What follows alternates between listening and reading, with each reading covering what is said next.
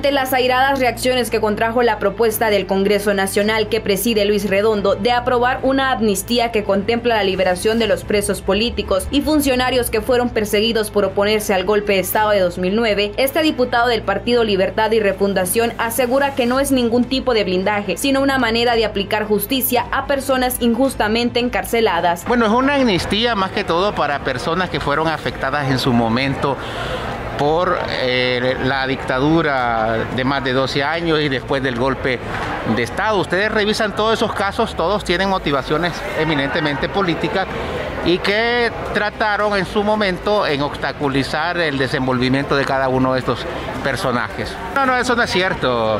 Por eso se estableció que la Secretaría de Derechos Humanos en conjunto con el COFADE ¿verdad?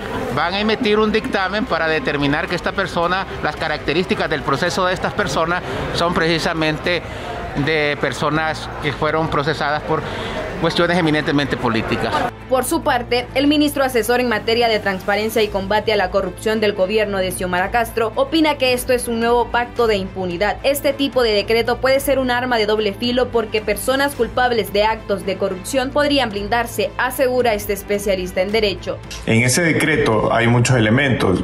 Atenta contra la independencia de poderes y de las instituciones, la autonomía porque el Ministerio Público tiene el ejercicio de la acción penal pública. Y cuando se esté investigando personas que probablemente sí cometieron actos de corrupción, esto puede ser utilizado eh, por personas malintencionadas que quieran proteger funcionarios que sí cometieron actos de corrupción en ese momento. Según este abogado penalista, la normativa procesal penal establece que cualquier ciudadano que acuda a una amnistía no queda exonerado de la responsabilidad civil.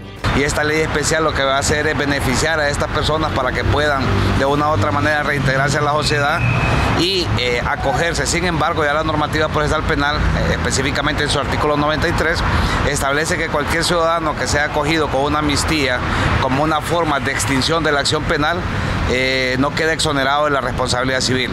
Habría que ver si ellos en el proyecto de decreto analizaron esta posición o este articulado que establecieron los que emitieron este proyecto de decreto contentivo en el Código Procesal Penal para poderlos liberar también de esa responsabilidad civil, porque posiblemente queden exonerados de cualquier delito que hayan venido siendo sindicados. Y estos delitos deben estar claros y ser objeto realmente de persecución política, no delitos de forma abierta, porque entonces quizás va a generar cierto grado de impunidad en personas que, que no eran políticas o que no se derivaron de asuntos eminentemente políticos y lógicamente se estarían acogiendo esa ley de amnistía. Desde la Cámara de Comercio e Industrias de Tegucigalpa dicen que están trabajando un análisis, ya que la ley abarca mucho más delitos que la persecución política. nuestro equipo de abogados está haciendo un análisis sobre esa ley.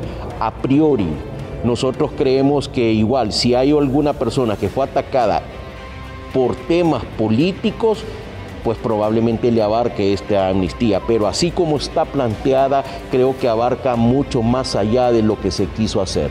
Las personas que se desempeñaron como funcionarios, empleados o autoridades que fueron víctimas del golpe de Estado de 2009, quienes han ejercido su derecho a la protesta social, los ciudadanos que han realizado actos de defensa de su territorio, soberanía nacional y patrimonio, entre otros, serían exculpados. Para Centro de Noticias, GoTV les informó Carolina Martínez.